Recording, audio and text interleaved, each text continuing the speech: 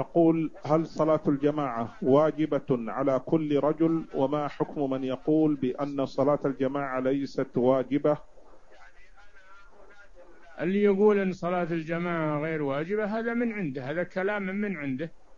أما كلام الله ورسوله فهما يدلان على وجوب صلاة الجماعة. عمل المسلمين يدل على وجوب صلاة الجماعة. يسبح له فيها يعني بالمساجد بالغدو والآصال رجال. لا تلهيهم تجارة ولا بيع عن ذكر الله وإقام الصلاة وإيتاء الزكاة. يخافون يوما تتقلب فيه القلوب والأبصار.